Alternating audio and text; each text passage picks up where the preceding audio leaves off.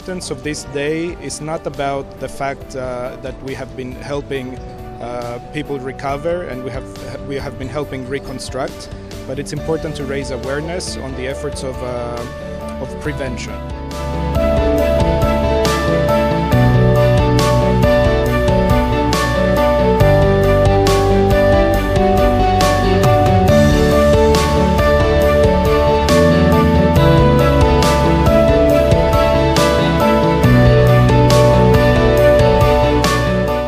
Is one of the most interesting things on this planet, but we are facing actually uh, unscaled uh, disasters already because of these waters, and these disasters have tripled in the last 30 years. So we need to take care of this in the future, and we're doing this here in Paraćin today. It is predicted that the numbers of disasters in Serbia will also continue to increase in the future as global warming generates more extreme weather events.